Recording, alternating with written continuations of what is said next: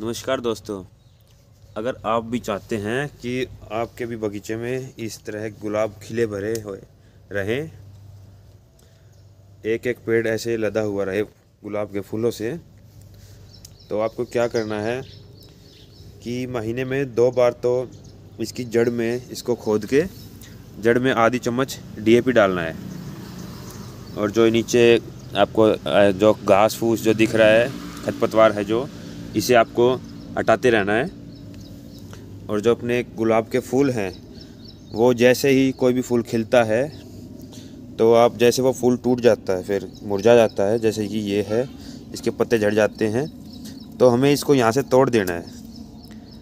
हमें इनको यहाँ से तोड़ देना है। तोड़ने का, के बाद क्या है कि जो एनर्जी इसकी इनके जो बीज होता है, इसको पकाने में जो लगता है, इस बीज को पकाने में जो एनर्जी लगती है वो एनर्जी फूलों फूलों को बनाने में जाएगी, अगर हम इसको तोड़ देंगे तो।